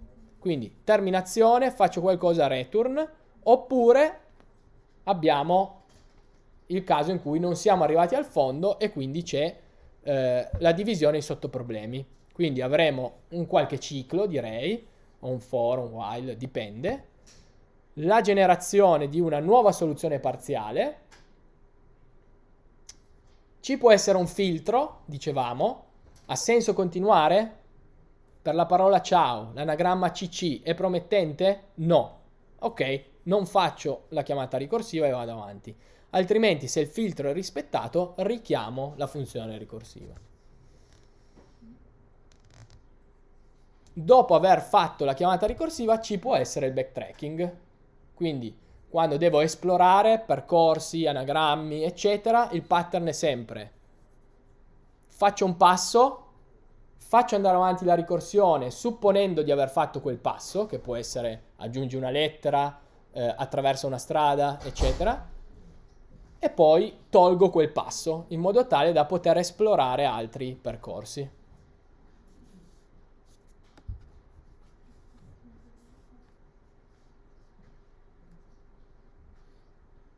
E questo ci porta all'ultimo eh, esercizio che facciamo insieme oggi, poi ci saranno quelli del laboratorio, scrivere, l'avrete già capito, un programma ricorsivo che, data una parola, ci trovi tutti i possibili anagrammi di quella parola. Vabbè, dal punto di vista matematico questo significa trovare tutte le n fattoriali permutazioni dei caratteri inclusi nella, nella parola. Nelle slide successive avete già è l'approccio che vi ho già descritto più volte, ehm, avete questo approccio descritto anche graficamente. No? L'idea è di partire dalle lettere ancora dalle lettere da considerare, che nel primo caso sono tutte le lettere presenti nella parola, dog in questo caso, e avere una stringa, una lista, una struttura dati vuota in cui mano a mano inseriamo una lettera per volta. Ok? Allora cosa facciamo? Al primo giro ad esempio potremmo ciclare sulle nostre lettere e aggiungerle una per volta nella nostra stringa vuota. Questo è il primo livello della ricorsione, dove ovviamente la prima chiamata che cosa farà? Prenderà la prima lettera e la metterà nella prima casella. E da qui l'albero della ricorsione si espanderà giù cercando tutti gli anagrammi che iniziano con D. A un certo punto la ricorsione terminerà in questo sottoalbero qui, tornerà indietro, risalirà fino a qui ed è qui che noi avremo backtracking, quindi tolgo la D e provo a mettere la O ed esplorerò tutto l'albero di anagrammi che iniziano con O.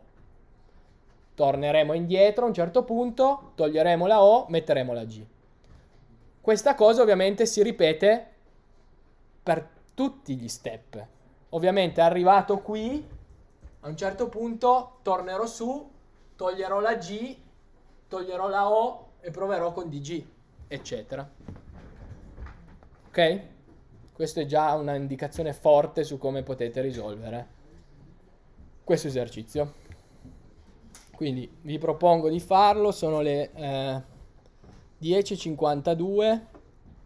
Eh, facciamo così, facciamo la pausa perché è già un po' che lavoriamo, un quarto d'ora di pausa, poi ci ritroviamo insieme e vi lascio un po' di tempo per fare l'esercizio e poi proviamo a, a risolverlo, ok?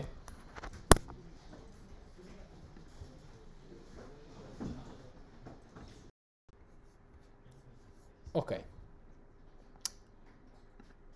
Allora, credo che la, l'idea generale l'abbiate, l'abbiate capita. Quindi, in sostanza, noi dovremmo avere una stringa in questo caso, direi, perché stiamo parlando di stringhe vuota che andiamo a riempire con una lettera per volta. Quindi, supponiamo di avere una funzione anagrammi che riceverà sicuramente questa struttura dati in cui andiamo a costruire le nostre soluzioni parziali, chiamiamola parziale, una stringa che da fuori ci verrà passata come vuota e noi mano a mano andiamo a riempire. E poi avremo sicuramente i nostri caratteri, no? Chiamiamola parola, la nostra parola su cui vogliamo calcolare gli anagrammi.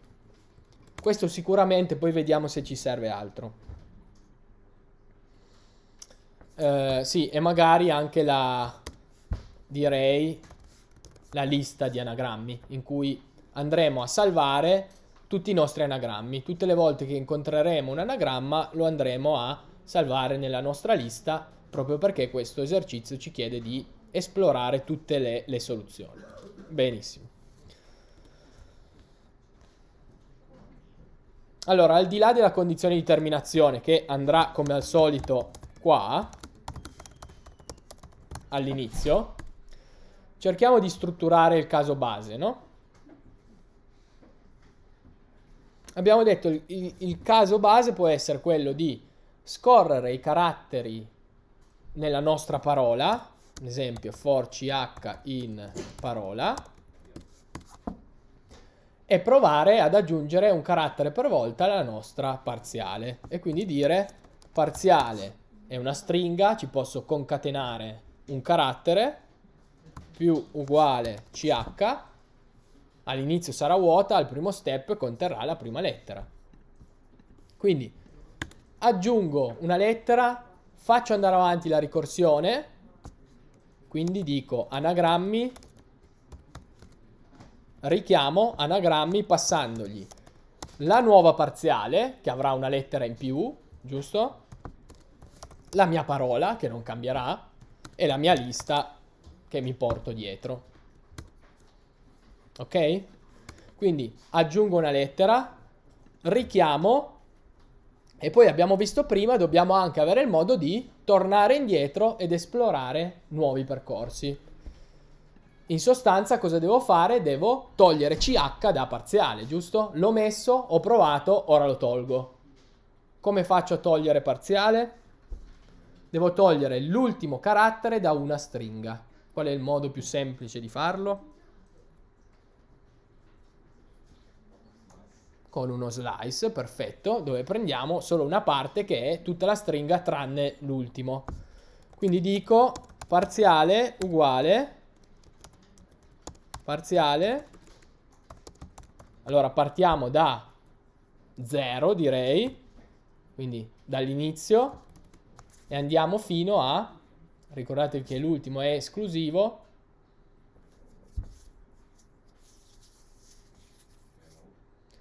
se vogliamo, almeno non ci confondiamo tanto, usiamo il, lo slice normale, quindi da sinistra a destra, possiamo fare len di parziale meno 1, ok? Perché in un accesso posizionale questo sarebbe l'ultimo carattere. Ma vi ricordo che nello slice è esclusivo e quindi prendiamo quello prima. Perfetto.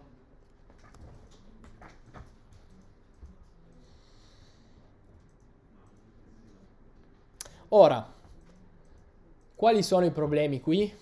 Che, che cos'è che manca al di là della condizione di terminazione?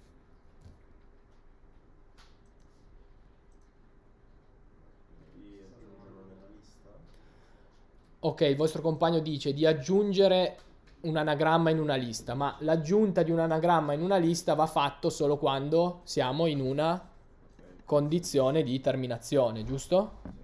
E quindi quello lo facciamo dopo. C'è un'altra cosa importante che manca. Supponiamo ci sia la parola dog, ok? Entriamo qua dentro, for ch in dog. Quindi il primo sarà d. Ok, aggiungiamo d a parziale. Richiamiamo anagrammi che di nuovo rifarà for ch in dog. E quindi aggiungerà di nuovo la d. Ok? Aggiungerà continuamente la d. Perché non abbiamo trovato il modo di eh, dire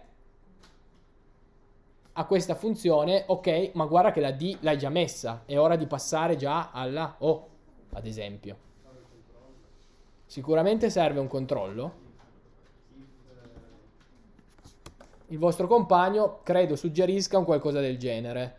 If, eh, boh, not, not ch in eh, parziale?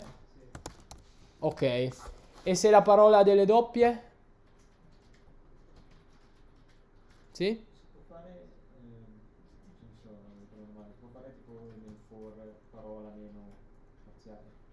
Ok, il vostro compagno suggerisce un'idea più furba. Non che la tua fosse stupida, eh, per carità. Però dice, perché non rimuovere, direi, da parola i caratteri che abbiamo già considerato? È questo quello che te- intendevi? Ok. Se noi fossimo in grado di dire, ok, eh, ho preso la D, l'ho messa, se noi fossimo in grado di dire alla successiva chiamata, guarda che la D l'ho già considerata, concentrati solo su OG, risolveremmo il problema, giusto? Quindi un'idea potrebbe essere quella di aggiungere il carattere eh, a parziale e al tempo stesso toglierlo da parola, in modo tale che la prossima chiamata ricorsiva in questo ciclo for direttamente consideri già di sua natura i- caratteri giusti, quelli ancora validi. Ok? Benissimo. Come facciamo a rimuovere ch da parola?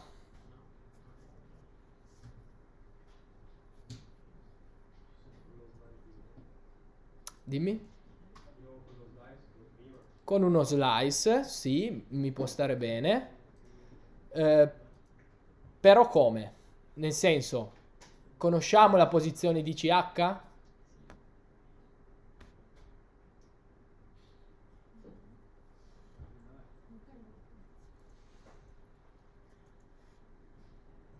Non la sappiamo per come è fatto questo for. Quindi che cosa mettiamo nello slice al momento è un po' oscuro. Potremmo pensare di dire parola.remove di ch.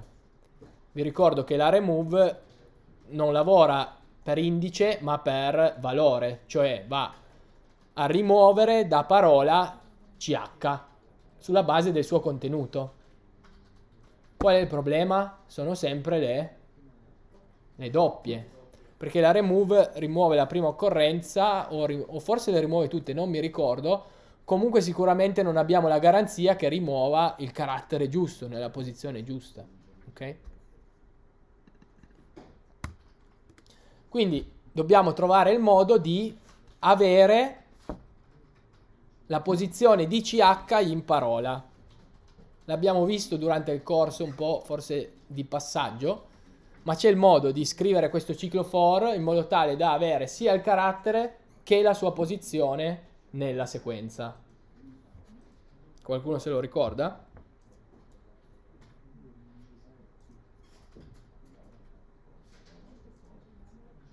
Scusami? Il vostro compagno dice un secondo for? No. Con la funzione enumerate. la funzione enumerate ci restituisce due valori. Infatti qui prima della in metto due variabili, dove la prima variabile rappresenta la posizione, l'indice, lo chiamo i, e il secondo valore, la seconda variabile, rappresenta il valore. Quindi in questo caso enumerate parola ci restituirà 0d, 1o, 2g, se la parola è dog, ok? A questo punto effettivamente abbiamo, abbiamo quello che ci serve, no? Potremmo eliminare il carattere ch da parola. Come facciamo? Sicuramente con uno slice, ma come? Perché questo carattere non è detto che sia al fondo o all'inizio, potrebbe essere anche in mezzo. Quindi in questo caso era più facile perché dobbiamo eliminare solo un elemento che è al fondo, quindi prendiamo in un blocco solo, ma in questo caso se il CH è in mezzo alla parola, sì? Esatto, se, se questa lettera è in mezzo alla parola, ma se lei cancella, la prima volta, lei cancella la lettera, sì. poi le volte dopo sarà sempre la prima lettera della parola. Mm. No, perché? Perché tu stai pensando di cancellarla definitivamente.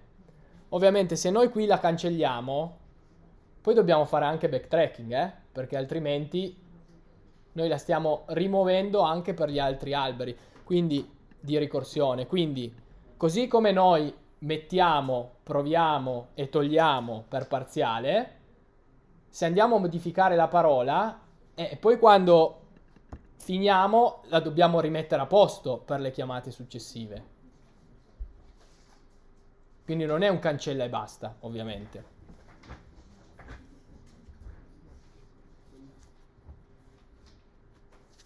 Allora io potrei dire che la mia nuova parola, che è quella a cui voglio togliere la lettera che ho considerato, Parola da posizione I, parola I, così, perché?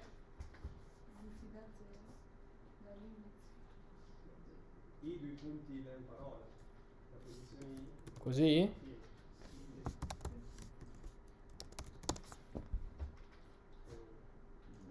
Però supponiamo che la, che la lettera sia in mezzo, no? Se vogliamo eliminarla dobbiamo avere, prendere due slice, quello che sta prima del carattere e quello che sta dopo, escludendo il carattere in mezzo. Questa può essere un'opzione, anzi l'unica opzione. Quindi direi che partiamo da 0, ok? e andiamo fino a la posizione prima del carattere. Ok? In questo caso l'indice è esclusivo, quindi andiamo fino a i. Che cosa vuol dire andare da 0 a i? Vuol dire prendere quel pezzo di stringa che sta prima della posizione i. Giusto? Se poi quell'elemento è in prima posizione, funzionerà lo stesso. Perché io andrò da 0 a 0. Che cosa vuol dire? Prendo solo il primo elemento. Ok? Era sbagliato se scrivevi. No, era giusto lo stesso. Se non scrivo lo 0, lo 0 c'è di default. Ok?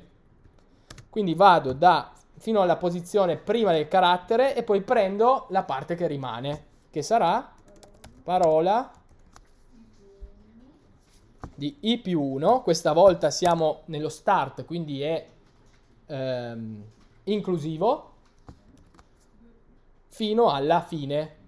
E quindi qui, come per lo 0, posso anche non specificare niente. Se non dico niente vuol dire vai fino alla fine. Quindi mi sono costruito una stringa a cui ho tolto il carattere che ho considerato e dico a- al- ad anagrammi, quindi alla prossima chiamata ricorsiva, Non basarti più su tutta la parola. Guarda solo i caratteri che dobbiamo ancora analizzare. Quindi gli sto facendo addirittura un lavoro in più. Ok? Quindi metto in parziale e tolgo dai caratteri da considerare e faccio andare avanti la ricorsione. Quindi questa ricorsione esplorerà un dato albero ricorsivo, prima o poi ritornerà indietro. A quel punto cosa devo fare? Devo rimettere un po' le cose a posto, giusto? Allora, sicuramente tolgo il carattere imparziale e qui siamo d'accordo, l'abbiamo fatto prima. Adesso, per nuova parola, devo rimettere il carattere che ho tolto secondo voi? C'è una differenza eh, tra queste due?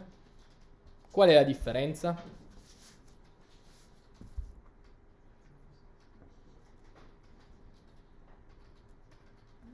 Non mi viene passato la funzione madre, madre invece viene chiamato all'interno. Sì, esatto, credo che il vostro compagno abbia intuito qual è la differenza. In un caso stiamo modificando direttamente la variabile originale, quella che ci è stata passata dall'esterno, no? È, è sempre parziale, quindi stiamo sporcando sempre quella. Quindi se la sporchiamo poi la dobbiamo rimettere a posto per esplorare altre vie. Qui invece stiamo definendo una nuova variabile, ok? Nuova parola. Quindi quando ritorneremo qui, parola sarà ancora quella precedente. No, eh, sì, parola. Sarà ancora quella precedente. Non l'abbiamo sporcata e quindi non c'è il caso di rimetterla a posto. Sono due strategie diverse. Se sporchiamo la variabile originale, la dobbiamo poi rimettere a posto, fare backtracking. Se non la tocchiamo e costruiamo nuove variabili che esistono solo per quella determinata chiamata, a quel punto il backtracking non serve, c'è implicitamente. Se avessimo fatto parola uguale questa roba qui, allora qui avremmo dovuto anche risistemare parola. Cosa che diventava un po' complicata, a dire la verità, perché dovevamo andare a rimettere il carattere nella posizione giusta, potrebbe essere complicato. E quindi è più comodo fare così. Così come nulla ci vieta di fare così, eh? Nuova parziale uguale parziale più ch. Se io faccio così e al posto di parziale passo nuova parziale, il backtracking ovviamente non mi serve. C'è implicitamente. Era per mostrarvi però le, le varie possibilità che abbiamo. Tornerei a questa versione che vi mostra due possibilità. Quella in cui si sporca la variabile originale e quindi serve il backtracking e quella in cui si crea una nuova variabile e quindi non serve il backtracking. Però è importante capire perché.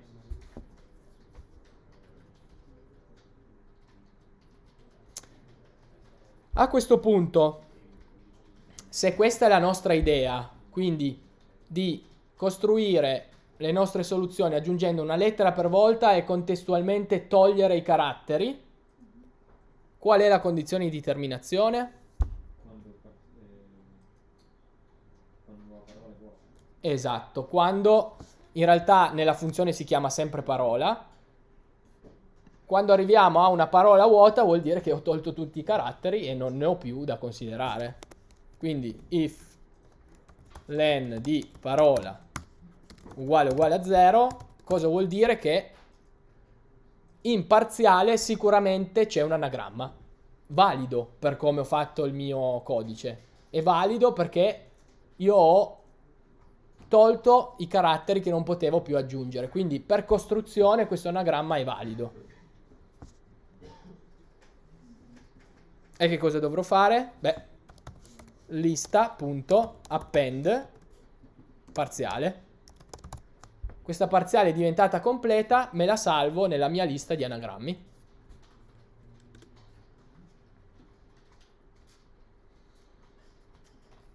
Ok, proprio perché qui è un problema di esplorazione di tutte le possibili eh, soluzioni, vedete che qui nella condizione di terminazione non posso mettere una return. Cioè non ho niente da ritornare, devo andare avanti, no? E quindi questo è il caso in cui la, la condizione di terminazione è strutturata come una if else. Cioè se sono arrivato al fondo appendo, altrimenti vado avanti. Ok? In altri casi, in cui ad esempio quando arriviamo a una soluzione completa ci basta, e qui magari abbiamo una return. In questo caso no. Perché se raggiungo la fine, bene, altrimenti vado avanti.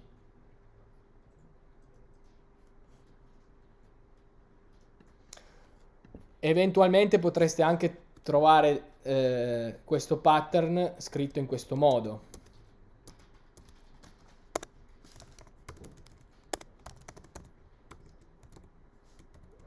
Ok? Quindi appendo la mia lista, ho finito, faccio una return che però non ritorna niente al chiamante. Infatti vedete una return senza niente. Sta solo a significare, ok, non fare più il for, chiudi, chiudi la, la funzione. Sono equivalenti.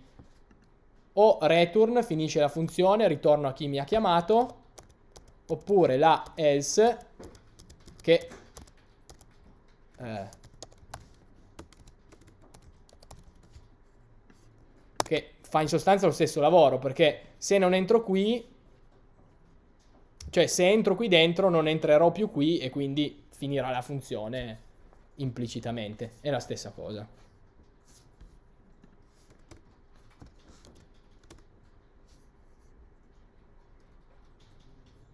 Sì, qui ho sbagliato il nome.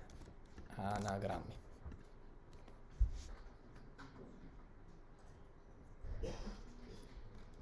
A questo punto che cosa posso... Ho finito, direi. E a questo punto posso calcolarmi questi anagrammi dal programma principale. Dovrò impostare i parametri, quindi la mia parziale partirà vuota, quindi mettiamo una stringa vuota, doppia apici. La mia parola ce l'ho, eh, la possiamo anche mettere direttamente qui dog ad esempio. E poi la mia lista di anagrammi. Eh, possiamo ad esempio definirci una lista vuota. Chiamiamola risultato. Ok? E do questa lista vuota in pasto alla mia funzione ricorsiva che si occuperà di riempirla mano a mano con i miei vari anagrammi e poi posso stampare il risultato. Vediamo un po'. Ok. Sembra funzionare. Ho 6 anagrammi.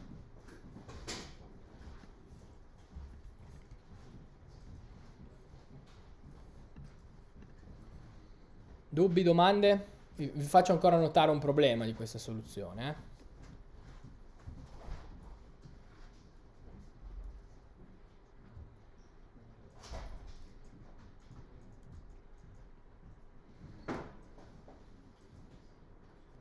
Che cosa succede se io qui ho una parola con delle doppie? Allora, per costruzione l'algoritmo dovrebbe funzionare ma semanticamente non funziona, perché se io qui avessi... Boh, eh, facciamo sempre un, um, una parola con tre lettere, che così è più facile da visualizzare. Eh, DDG, ad esempio.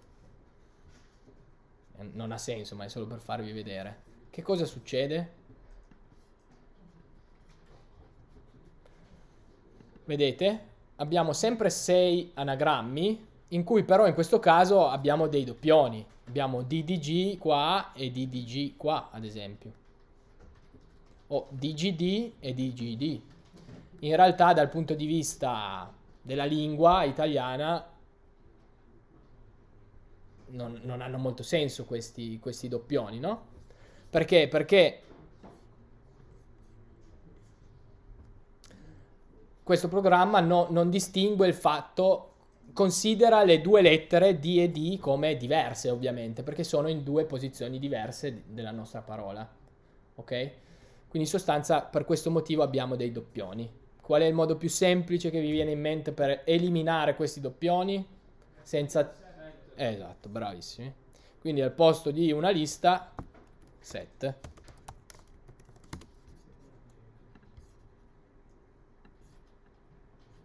No? Ah, ok. Il set ovviamente non ha la append, ma ha la add. Quindi dobbiamo fare questa piccola modifica.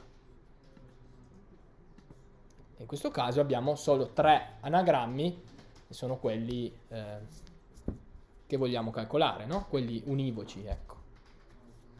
Ovviamente se usiamo la parola dog, nulla cambia. Siamo sempre in presenza di 6 anagrammi perché tutte le lettere sono diverse.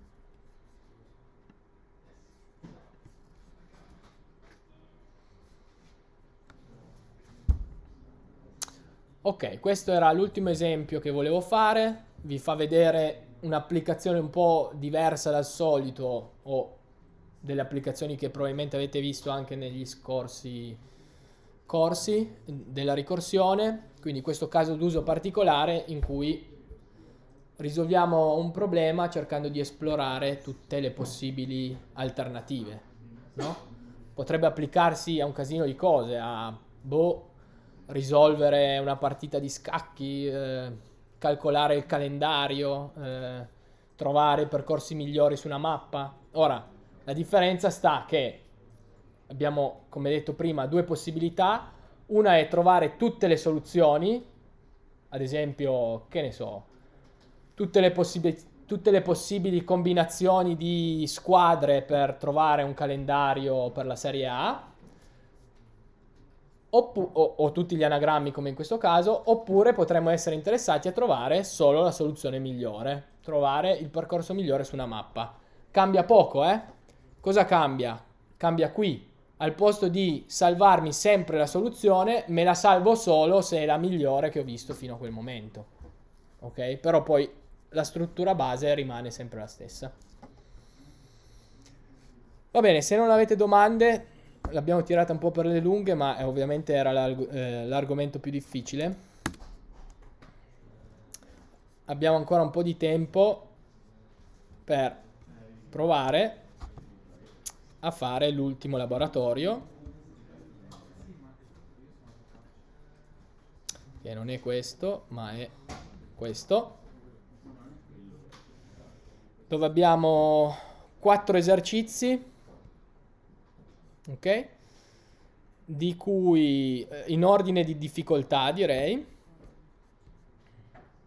di cui l'ultimo è veramente tanto più difficile rispetto a quelli che abbiamo fatto, eh, quindi ve lo lascio lì come possibilità, non vi darò mai un esercizio così come l'ultimo all'esame ovviamente, ok? Eh, però sono tutti esercizi da da svolgere in modo ricorsivo. Il primo, ad esempio, è molto simile a, al Fibonacci, no? calcolare il fattoriale. Eh, e poi ne avete altri più simili, tipo l'X expansion qua, più simili agli anagrammi invece. Ok? Va bene, buon lavoro, sono qui, se avete domande anche su ovviamente esercizi passati, lezioni passate, sono ben felice di, di rispondere.